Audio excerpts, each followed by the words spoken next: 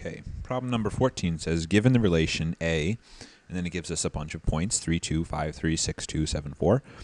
Um, says which statement is true? Both A and A inverse are functions. Neither A nor A inverse is a function. Only A is a function, or only A inverse is a function.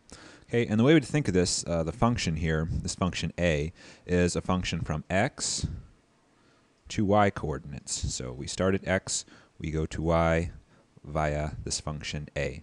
A inverse would be going from y to a, would be in the reverse direction.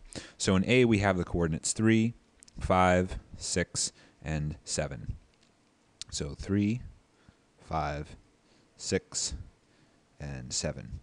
And under the y coordinates, we have 2, 3, 2 again, and 4. So we have 2, 3. I'm not going to write 2 again because we already have 2. And I'll just put 4 there. Now, the function, we can just think of it as lines going from elements of x to elements of y. So 3 maps to 2, like that. 5 maps to 3, like that. 6 maps also to 2. So 6 goes up here to 2. And 7 goes to 4.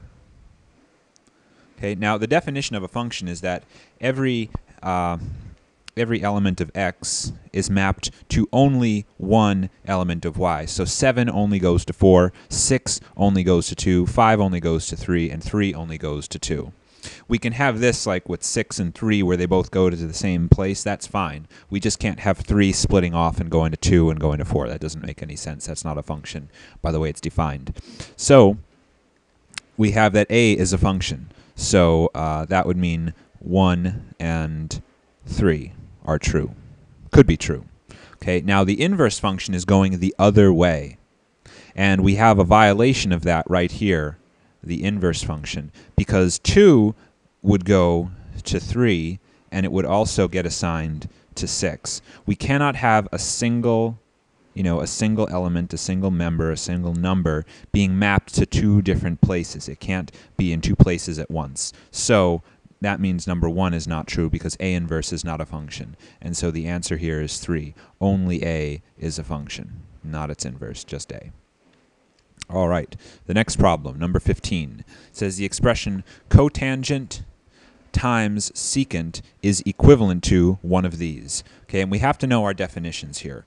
Cotangent of theta is equal to 1 over tangent of theta right? And 1 over tangent of theta is 1 over sine over cosine. So in other words, we have cosine theta over sine theta. So those are just two other ways to write cotangent. These are definitions. You have to memorize these things. You have to know these things. Okay, secant theta, okay, secant theta Okay, secant is 1 over cosine. That's just the definition of it. It's just 1 over cosine theta, right? So when we multiply cotangent times secant, we're multiplying this expression by this expression. Okay, so when we multiply those two, we get cosine theta over sine theta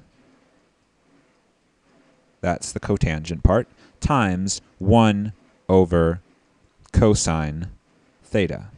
Okay, and just like any other fractions, uh, whenever we have something in the numerator canceling with something in the denominator, whatever's left over is whatever's left over. Sine of theta. 1 over sine of theta. Okay, and this is the definition for cosecant, CSC, of theta. Okay, so the answer is cosecant of theta, which is right there. All right, next problem, number 16, says if z1 is negative 3 plus 2i and z2 is 4 minus 3i, in what quadrant does the graph of z2 minus z1 lie? So basically, we're just doing uh, addition here with complex numbers. So z2 minus z1 is equal to 4 minus 3i that's just z2, minus the quantity, minus 3, plus 2i. Okay, we distribute this negative through the parentheses, and we have 4 minus 3i minus, oops, plus, because minus minus plus, 3i, right? And then minus 2i. That's not even an i. That should not that should not be there. Let me erase that. Let me get rid of that.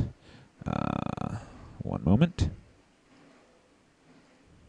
Why is it not erasing? I don't know. Edit undo, edit undo, edit undo. Let's, uh, there we go. Okay. Sorry for the confusion there. That should not be there. Okay, now we're all clear. Now we're ready to go. Okay, so 4 minus 3i plus 3 minus 2i. That's what this equals. Well, that's going to give us 4 plus 3, that's 7. Minus 3i minus 2i is minus 5i. And we want to know what quadrant this is in, so we would just graph real quick. This is the i-axis. This is the real numbers, fancy r, right? So we have 7 in the real numbers, and then we go down by 5i, and there's our complex number, 7 minus 5i. And this is in quadrant 4 because the quadrants are numbered 1, 2, 3, uh, uh, and 4. So the answer is quadrant 4.